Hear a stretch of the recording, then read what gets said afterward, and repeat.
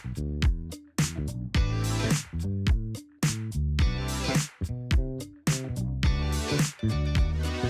Alors, euh, pour cette première table ronde, j'ai trois invités à mes côtés. Euh, Victor, d'abord, qui envisage peut-être euh, de se lancer dans une cifre. Myriam, qui est actuellement en plein dedans, hein, en deuxième année de thèse. Et enfin, Vivien, qui a soutenu sa thèse, donc cifre également, l'année dernière, donc en 2023. Merci à tous les trois d'être ici. ça va nous donner, je pense, un super aperçu de toute cette période qui précède et qui suit un petit peu cette phase de thèse. Alors, bah, je vous propose de le faire dans l'ordre chronologique, hein, si vous voulez bien. donc, Victor, bonjour. Bonjour. donc, toi, tu es étudiant, ingénieur ingénieur à Télécom Nancy et à l'ENS euh, GSI à Nancy également. Voilà. Et actuellement, donc c'est un équivalent Master 1, je crois. Oui. Et donc la recherche scientifique, euh, ça t'attire un peu et tu te poses bah, peut-être des questions sur ce fameux dispositif CIFRE. Alors, euh, pour commencer, est-ce que tu pourrais peut-être nous décrire un peu tes études et plus précisément dans quel domaine tu te spécialises? Eh bien, bien sûr, actuellement, je suis à Télécom Nancy. Donc, c'est une école d'ingénieurs qui forme des ingénieurs dans l'informatique. Et précisément, moi, je suis en spécialité intelligence artificielle. Et euh, aussi, donc, comme je fais un double cursus avec l'ENSGSI, c'est une école qui va former des ingénieurs euh, spécialisés sur l'innovation. Donc tu as ce double cursus, euh, d'abord spécialité informatique, plus précisément intelligence artificielle, et puis plus généralement dans le domaine de l'innovation. Ok, et tu disais, la, recherche scientifique, c'est quelque chose qui t'attire. Hein. Est-ce que tu peux nous dire un petit peu d'où ça vient, cette attraction? Est-ce qu'il y a, je ne sais pas, peut-être des, des, domaines d'innovation particuliers ou des chercheurs qui t'ont influencé dans cette direction? Je pense que déjà, de base, de nature, je suis curieux et donc c'est pour ça que je pense naturellement je m'intéresse à la recherche. Et puis euh, évidemment le fait d'être, euh, euh, de côtoyer des professeurs qui sont aussi chercheurs et qui parlent de leurs projets de recherche, qui nous enseignent aussi sur ces domaines-là, je pense qu'ils arrivent à transmettre d'une certaine manière leur passion. Et c'est comme ça que j'ai découvert le monde de la recherche et c'est comme ça que je me suis intéressé à la recherche et probablement peut-être que j'effectuerai une thèse cifre. Bah, je peux te confirmer, hein, c'est vraiment un domaine euh, fascinant en tout cas. Bon, je suis pas non plus euh, très objectif à ce sujet. Euh, donc tu envisages peut-être de faire un doctorat, tu es encore un peu incertain à ce, sujet, bon c'est tout à fait normal, hein, je veux dire, tu as encore largement le temps de décider. Est-ce que tu pourrais nous dire, qu'est-ce qui te fait hésiter? Où est-ce que tu en es un peu dans tes réflexions? Est-ce qu'il y a des choses sur lesquelles tu es un peu incertain? Oui, il y a plusieurs facteurs qui font que je suis encore un peu incertain. Mhm. par exemple, je me demande est-ce qu'on passer une, faire une thèse est-ce que c'est pas être un peu seul? J'ai un peu peur de ce côté solitude. J'ai pas envie de me dire que euh, pendant trois ans, par exemple, je vais être sur un ordinateur toute la semaine. Alors peut-être que c'est juste un stéréotype, mais j'ai un peu cette appréhension-là. Mm. Et euh, ça me ferait un peu peur de, de rester seul. Moi, j'ai le besoin d'aller vers les autres, j'ai besoin de rencontrer des nouvelles personnes et de découvrir, de sortir de ma zone de confort. Alors la cifre en particulier, euh, on en parle déjà depuis le début, où tu sais que c'est une, solution qui permet de travailler dans une entreprise avec quand même l'encadrement euh, du laboratoire universitaire. Donc il y a un petit peu euh, ce, mélange des deux. Est-ce que c'est une solution que tu envisages, qui t'intéresse? Tu penses que ça peut être, une bonne idée? Moi, c'est ce qui m'intéresse, le côté entreprise. J'ai vraiment envie de travailler dans le monde de l'entreprise. Je sais qu'il y a un peu ce, côté, le monde universitaire et de l'autre côté le monde de l'entreprise.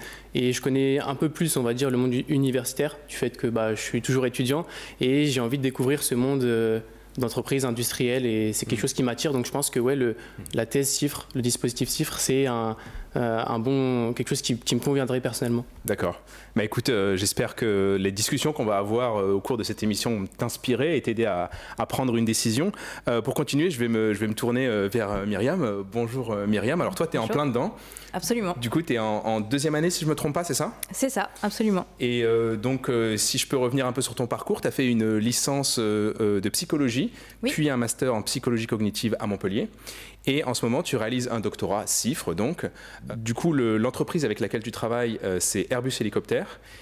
Et le laboratoire, en tout cas l'université qui encadre, c'est l'université Jean Jaurès à Toulouse, c'est correct? C'est ça. Ok. Euh, ton sujet de thèse, on a eu l'occasion d'en parler un petit peu avant, je trouve euh, vraiment original. Est-ce que tu pourrais euh, nous en dire un petit peu plus, s'il te plaît? Oui, alors moi je travaille du coup sur la documentation de maintenance des hélicoptères. Et du coup, le but de cette thèse CIFRE, c'est d'analyser un petit peu tout ce qu'on peut apporter aux instructions de maintenance qui sont un support écrit, du coup, tout ce qu'on peut apporter en termes de multimédia, en termes de multimodalité, pour aider à la compréhension et surtout au suivi du coup des procédures de maintenance euh, qui sont réalisées tous les jours par les techniciens de notre entreprise. D'accord. Mais euh, euh, l'aspect recherche dans ce sujet, il est plus expérimental. Tu fais des expériences, par exemple? Dis-nous concrètement comment, comment ça marche. C'est ça. Que tu fais? Alors, bah, je vais prendre exemple sur Mhm. ce que je suis en train de faire actuellement avec mon entreprise. Mhm. Euh, là, actuellement, je suis en train de monter mon premier protocole expérimental. Normalement, les passations arrivent bientôt. Et en fait, on s'intéresse à comment est-ce que euh, les instructions véhiculent du sens. Donc, euh, comment en fait euh, on peut mettre en place ces instructions. Est-ce qu'il vaut mieux peut-être ajouter du, du dynamisme, par exemple, dans les instructions? Est-ce qu'il vaut mieux euh, peut-être passer par des indices auditifs, visuels? En fait, on, on va se demander bah, comment, enfin, quelle est la meilleure manière de véhiculer l'information technique pour qu'elle soit comprise et appliquée, parce que c'est aussi une, euh, un acte moteur, en fait, la maintenance. Donc, en fait, on s'intéresse à quand on présente l'information, quand est-ce qu'elle est le mieux reçue et mieux appliquée derrière. D'accord. Voilà. Comme c'est une cifre et que toi, tu travailles avec Airbus Hélicoptère, est-ce que ces expériences, tu les réalises directement euh, avec les, les- les- le personnel d'Airbus ou bien est-ce que tu vas recruter euh, du, un personnel, des participants un peu plus neutres peut-être pour tes expériences? Comment ça marche? Alors, dans cette première expérience, justement, on s'intéresse un petit peu au fonctionnement de base, cognitivement, comment est-ce que ça se passe. Donc, on a aussi des mesures un petit peu plus objectives avec de l'eye tracking, des choses comme ça.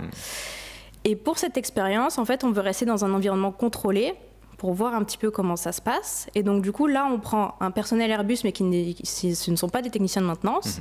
Donc, on reste sur un, un terrain un petit peu neutre. Et par la suite, on aimerait appliquer ces résultats euh, bah, aux techniciens de maintenance. Et co- voilà, comment est-ce qu'on l'applique vraiment au cœur du, de notre domaine. D'accord. Du coup, je trouve ça intéressant parce qu'il y a vraiment le côté recherche fondamentale où tu vas t'intéresser vraiment aux mécanismes cognitifs dans un premier temps de manière complètement neutre. Et ensuite, il y a tout de suite cette transition assez rapide vers l'application, euh, du coup, dans le contexte de Airbus Hélicoptère. C'est ça. Ok.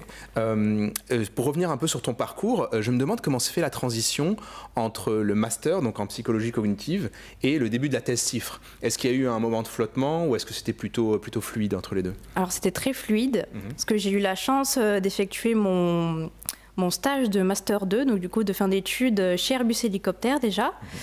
Euh, C'était un, un stage en- sur euh, l'ergonomie du- d'une interface justement de documentation de maintenance. Mhm. Et quand j'étais là-bas, cette offre est apparue. Donc moi je m'intéressais déjà au, au sujet. Et euh, le fait de pouvoir l'approfondir avec une équipe du coup que je connaissais déjà un petit peu, bah, ça m'a tout de suite parlé. Donc j'ai candidaté et, et euh, je pense que ça a été peut-être un plus de connaître déjà l'environnement de l'entreprise, etc. Donc voilà, ça a été un coup de pouce, je pense. D'accord. Donc ça, c'est une voie possible. hein. C'est donc la continuation du stage de fin d'études en fait qui va se transformer euh, avec un peu de chance en, en- en doctorat euh, CIFRE.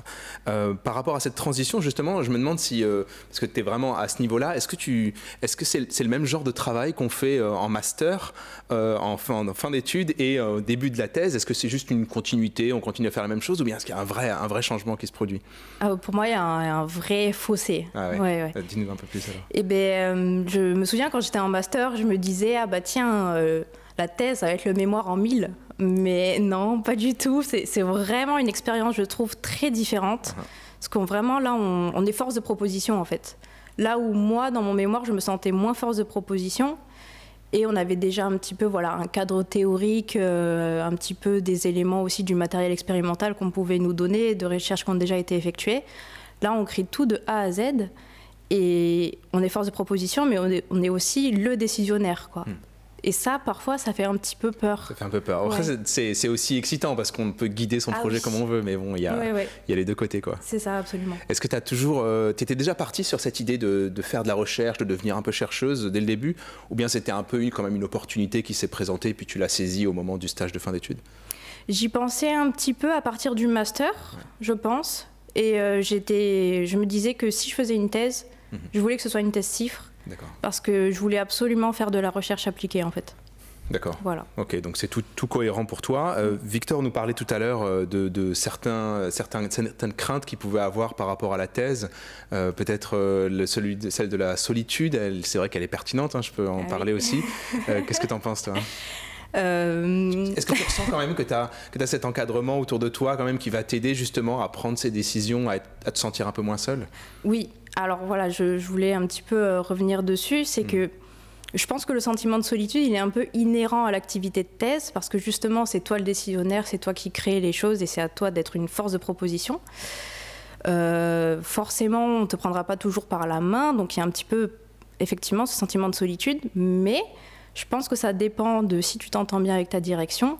Ça dépend aussi de la distance peut-être avec le labo. Moi, je sais qu'entre Marseille et Toulouse, c'est quand même à chaque fois un petit investissement, voilà, d'y aller, etc. Mais je pense que tu peux un peu moduler ce sentiment de solitude. parce qu'en fait, il ne faut pas tomber dans le piège de j'ose pas solliciter. Je sais que là, pendant la création de mon expérience, au tout début, j'hésitais un petit peu. Mhm. Et après, j'ai eu un déclic. Je me suis dit, mais non, si j'ai un doute, une incertitude, j'y vais, j'appelle, etc. Et j'ai toujours été super bien reçue. Et ça m'a aidé à faire ces choix finalement. Donc euh, voilà, faut pas tomber dans ce piège de non, j'ose pas. Et il ne faut pas négliger sa vie sociale en dehors de la thèse aussi, je pense. très très bon conseil. Voilà. Non, c'est vrai que c'est beaucoup ça, c'est beaucoup ça la science. On est tout seul avec son projet, mais en fait, on s'appuie énormément les uns sur les autres, et c'est pour ça qu'on se sent un petit peu moins seul dans le fond parce qu'on est euh, tous ensemble pour résoudre un, problème. Merci beaucoup, euh, Myriam. Euh, peut-être aussi que le, parcours de Vivien va t'inspirer. Alors, bonjour Vivien. Bonjour Maggie. pour toi, doctorat c'est terminé. Hein, tu as soutenu sa thèse l'année dernière. C'était également une cifre et elle était co-encadrée par l'ENSM du côté public, donc c'est l'École nationale supérieure maritime, c'est ça Exactement. Et CG, CMA, CG du côté privé. Alors, euh, ton, parcours, je le trouve assez remarquable. Hein. Donc, toi, tu as, fait des études donc, de marine marchande, puis ensuite, tu es parti en mer, tu as navigué pendant 12 mois, et de retour sur la terre ferme, tu décides de te lancer dans un doctorat. Est-ce que euh, est-ce que c'était c'est un changement d'orientation ou bien c'était déjà une vision euh, de la recherche que tu avais depuis le début dans ton parcours? Alors c'était déjà une vision. En fait, durant mes 5 ans de master, je suis, je suis parti naviguer régulièrement et tout ça euh, m'a permis d'avoir un an de navigation. Durant les deux dernières années de master, je me suis rendu compte que en mer, il manquait quelque chose. Et je me suis dit, pourquoi pas faire une thèse en cinq ans euh, à côté de mon travail, vu qu'en marine marchande, on travaille autant que ce qu'on a de congé. Donc je me suis dit, c'était un super, euh, un super programme. Sauf que je me suis rendu compte qu'il y a des avantages et des inconvénients à ce type de thèse. Et durant ma dernière année de, master, le, sujet euh, m'a été proposé. C'était un sujet sur le roulis paramétrique, euh, donc complètement dans le thème de mes études. Et là, je me suis rendu compte qu'en fait, il y avait énormément d'avantages à, faire une thèse cifre. Donc, euh, on, est, on, est, encadré. Et là, on a vraiment le, le double côté opérationnel que j'adorais, qui est vraiment aller en mer et pouvoir apporter quelque chose à ce qu'on fait, et le côté recherche. Et ça, c'était vraiment génial. D'accord, je comprends bien. Euh, alors moi j'adore euh, j'adore aller regarder les, les, thèses des autres, même si même si je comprends rien, juste ça me fascine déjà juste de lire le, titre. Euh, je suis allé voir la tienne et j'ai trouvé le titre qui est euh, probabilité d'apparition du roulis paramétrique sur un état de mer prédéfini. J'adore ça les sujets de thèse, c'est toujours hyper spécialisé et très obscur. Est-ce que tu peux juste nous dire un peu plus c'est quoi un roulis paramétrique et qu'est-ce qu'il y a dans ce dans ce manuscrit de thèse? Bien sûr, avec plaisir. Donc en fait c'est un phénomène de perte de stabilité dans les vagues. Donc il apparaît par mer de face ou mer de l'arrière. Donc grosso modo, qu'est-ce que ça fait? C'est-à-dire que c'est un phénomène qui est traître, on s'en rend pas compte, on pense qu'on est en sécurité, alors que notre navire va commencer à rouler bord sur bord de manière euh, inopinée et violente. Par exemple, sur un porte-conteneur, ça va mener à la perte de conteneurs à la mer. Donc clairement, c'est ce qu'on veut éviter. Malheureusement, ce sont les types de navires qui sont les plus sujets dû à leur forme de carène, donc à la forme de la coque. Et donc c'est pour ça que CMA-CGM était fortement intéressé par le sujet, et c'est avec eux que la, thèse a été, a été bâtie. À côté de ça, durant cette thèse, on a pu développer un outil de prédiction du roulis paramétrique et euh, de réaliser un guide de réaction pour les personnes embarquées. C'est des recherches qui, ont, qui, sont, qui commencent à être appliquées déjà, qui sont concrètes mm. ou qui restent encore pour l'instant fondamentales? Les deux. Donc euh, on a vraiment un double volet. Le côté fondamental qui s'éternise depuis maintenant euh, presque 20 ans. Donc le premier accident c'était l'appel China. Et depuis, on, tous les chercheurs du monde cherchent des solutions pour ce phénomène. Donc c'est pas un phénomène qui est, nouveau. Mhm. Et euh, on cherche tous, euh, aussi bien du fondamental que de l'appliquer pour les opérationnels, comment éviter le phénomène. Donc ça passe forcément par euh, comprendre comment est-ce qu'il apparaît. Donc le, fondamental et l'opérationnel. Mhm.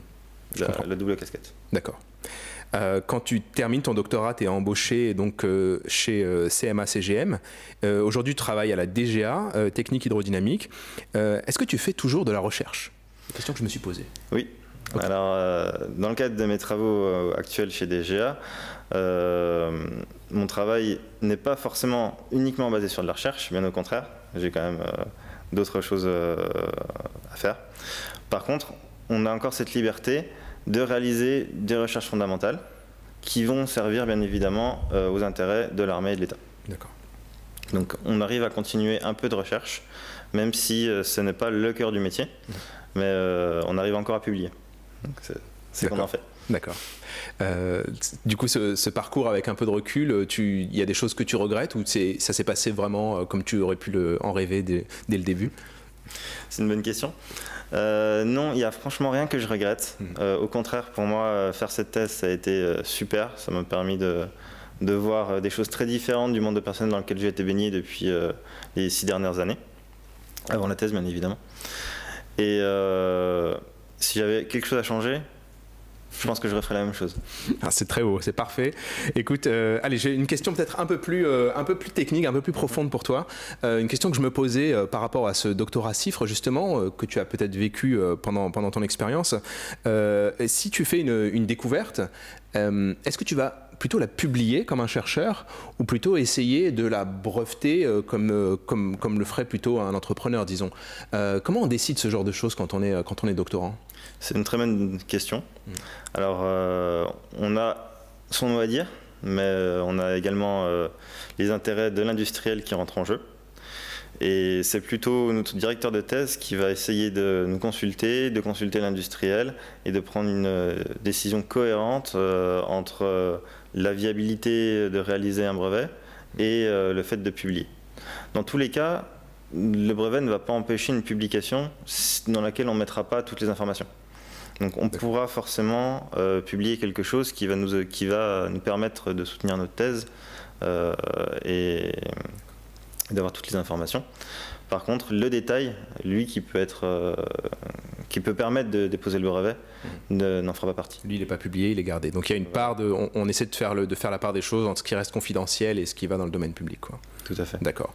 Bah, merci beaucoup. Euh, on va discuter de ces points en particulier avec euh, trois nouveaux invités maintenant qui représentent un peu vos, encadrants, donc des chercheurs et des entrepreneurs qui conçoivent des sujets de thèse cifres et qui vous guident donc dans vos recherches. merci beaucoup à, tous les trois. Je vous souhaite beaucoup de succès donc pour la suite de votre parcours professionnel. Merci. Merci. Merci, merci beaucoup.